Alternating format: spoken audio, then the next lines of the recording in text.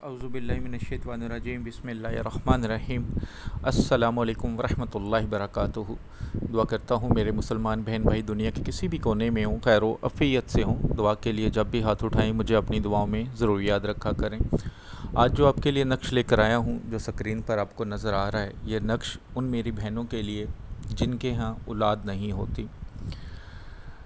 कुछ लेडीज़ के साथ मेडिकल इशू होता है तो कोशिश किया करें, जिनके साथ ऐसा इशू है कि औलाद नहीं हो रही, अपने मेडिकल टेस्ट करवाएँ, अपने मियाँ के भी, अपने भी।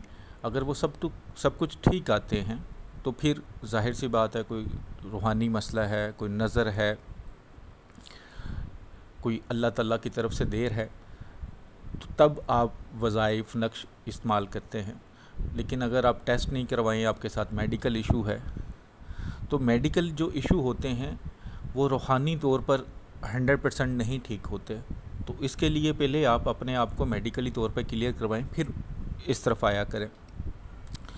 जो इस नक्श को लिखने की रूहानी इजाज़त चाहते हैं, चैनल पर नए हैं, चैनल को सब्सक्राइब करें और घंटी वाले आइकॉन को प्रेस करके कॉमर्स बॉक्स में 21 मरतबा द्रोशी पढ़ के इन लिख दें। रूहानी इजाज़त है। नक्श आपके सामने है, बिल्कुल एक सादा तरीके से लिखना है कि सादा कागज़ ले लें, ब्लैक कलर के पेन यानी काली स्याही से आप लिख सकते हैं। बस जो शर्तें हैं वो पूरी कर दें कि लिखने से पहले सदका खैरात ज़रूर करें, जो आपकी इस्तात है। और कोई हैज़ वाली औरत, कोई बच्चा पास ना हो, कोई जानदार की तस्वीर ना हो तो वहाँ बैठ के पाक साफ़ हालत में आप नक्श लिख लें, चाहे किसी से लिखवा लें, ख़ुद लिख लें, मियाँ लिख सकता है, आप ख़ुद भी लिख सकती हैं अपने लिए। तो जिस तरह मर्ज़ी, इसको जिस तरह मैंने नक्श बनाया है, इसी तरह लिखना है।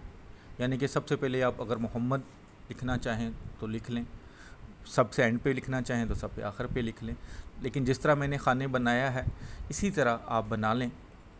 और इस नक्श को फोल्ड करके इसके ऊपर ट्रांसपेरेंट टेप या मोम जमा कर लें ताकि इसके अंदर पानी ना जा सके। उसके बाद इसे चमड़े में बना लें और लेडीज़ जिनके यहाँ औलाद नहीं होती, गले में डाल लें। इन ताला अल्लाह मेयर ने चाहा तो चंद ही दिनों में, चंद ही हफ़्तों में अल्लाह ने चाहा तो इन ताला अल्लाह की तरफ़ से ज़रूर खुशखबरी मिलेगी औलाद के लिए।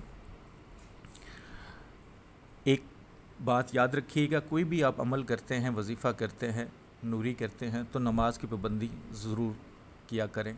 नमाज़ की पाबंदी नहीं करते, बुरे काम करते हैं तो फिर इन वज़ाइफ, इन नक्श का कोई फ़ायदा नहीं होने वाला।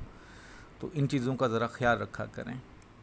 वीडियो को सदका जारिया समझ के लाइक करके शेयर कर दीजिएगा और दुआओं में हमेशा याद रखा करें। अल्लाह ताला हम सब का हामी नासर हो। अस्सलाम वरहमल वबरकातुहू।